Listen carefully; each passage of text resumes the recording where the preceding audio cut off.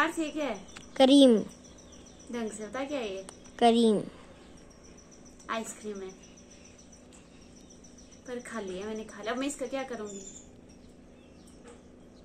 फूल उगाओगे। अच्छा ये है खाली डब्बी आइसक्रीम की। तो अभी हम मैं लगाऊँगी इसमें फ्लावर सकुलेंट प्लांट्स। अब आपको दिखाती हूँ कि कौन सा प्लांट लगाऊँगी। लगाऊँगी मैं ये वाला सकुलेंट प्लांट तो मैं काटूँगी यहाँ से।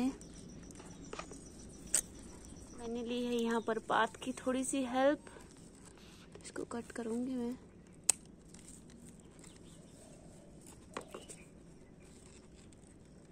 ढंग से कटनी चाहिए, नहीं तो।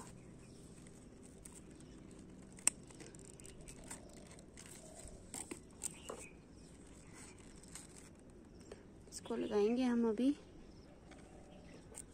हाथ में है आइसक्रीम का खाली कप। अभी हम इसे वेस्ट नहीं करेंगे।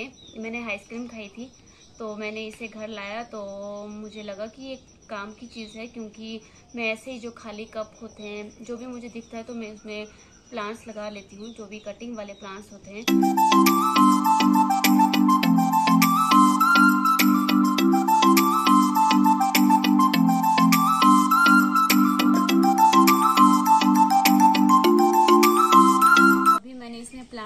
लगा दिया है तो इसमें मैं पानी दे दूँगी। तो ये कुछ दिनों में बड़ा हो जाएगा तो इसे दूसरे पॉट में शिफ्ट कर दूँगी।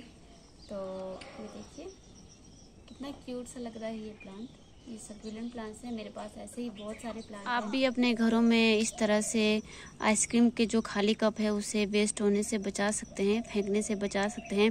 आप इसमें कटिंग वाले छोटे छोटे प्लांट लगाइए तो ये वेस्ट नहीं होगा। तो मैंने अभी इसमें सकुलेंट प्लांट्स लगाया है तो बाद में ये बड़ा हो जाएगा तो इसे मैं दूसरे पॉट में शिफ्ट कर लूँगी तो इसमें मैं दूसरा नया प्लांट लगा दूँगी। पर अभी ये डेकोरेशन के लिए काफ़ी अच्छा है, आप इसे इंडोर में भी रख सकते हैं आउटडोर में भी रख सकते हैं, और देखने में भी काफ़ी सुंदर लग रहा है, और ये धीरे धीरे मिट जाएगा, ये पानी से मिट जाएगा। ये बाहर से ही लगा हुआ है तो इसकी कोई दिक्कत नहीं है। तो ऐसे ही बहुत सारी वीडियो और प्लांट्स के बारे में जानने के लिए मेरे चैनल को सब्सक्राइब कीजिए और मैं आपको ऐसी ही नई नई वीडियो दिखाती रहूँगी। दे रहे हैं पानी। और मैंने देखे इसी तरह से छोटे छोटे सकुलेंस प्लांट्स मग में लगा कर रखे हुए हैं। और कुछ मैंने सेल कर दिए, कुछ मैंने कहीं सजा कर रखे हुए हैं।